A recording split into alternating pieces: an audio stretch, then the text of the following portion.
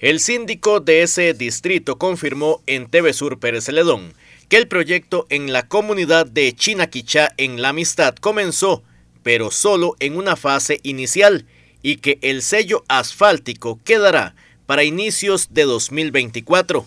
Sí, arrancó eh, en una fase preliminar que es eh, básicamente fortalecer la, lo que es la calzada principal, este, lo que es el asfalto o el, sello asfáltico, que es lo que se va a hacer ahí, todavía no. Este, posiblemente va, a quedar para enero o febrero del próximo año, estamos, este, fue lo que nos dijeron en, en una reunión que tuvimos sobre las razones para que ese sello asfáltico, que es lo más esperado del proyecto, quede para el próximo año, el dirigente comunal aclaró.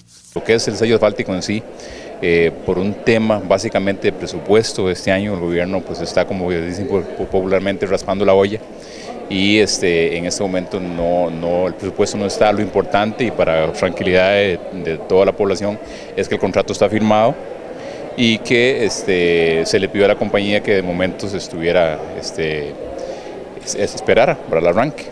Pero la idea, o lo que por lo menos lo que los ingenieros del MOP de, Iconave nos dijeron es que eh, enero, febrero eh, sería el inicio ya como tal de la, de la...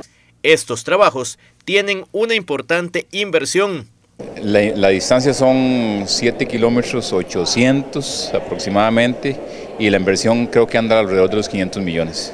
Esta obra es muy esperada por los vecinos de esa localidad generaleña. Sí, sí, sí, y también por la importancia que tiene este, este, ese sector. Y dicho sea paso que es prácticamente el, único tramo de ruta nacional que nos queda a nosotros como distrito puede faltar.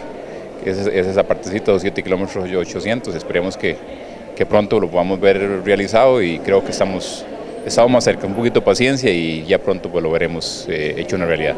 Esta obra mejorará también el ingreso al único territorio indígena que tiene Pérez Celedón.